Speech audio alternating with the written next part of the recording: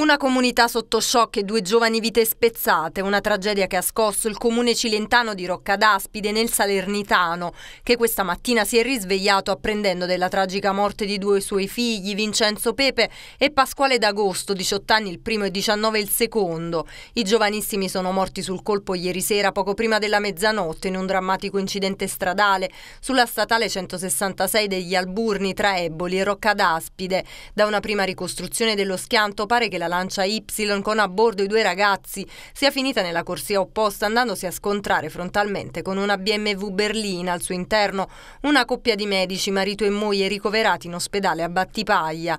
Sul posto i soccorsi, i vigili del fuoco che hanno estratto i corpi dalle lamiere delle auto e i carabinieri di Agropoli che stanno cercando di ricostruire la dinamica dell'accaduto.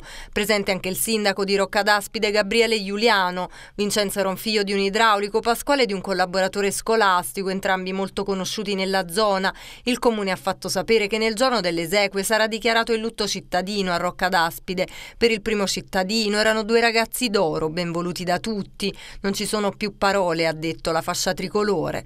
La procura di Salerno ha aperto un'inchiesta sul caso. I corpi di Vincenzo e Pasquale si trovano ora nell'obitorio dell'ospedale di Eboli. Nelle prossime ore verrà stabilito se sarà disposta o meno l'autopsia.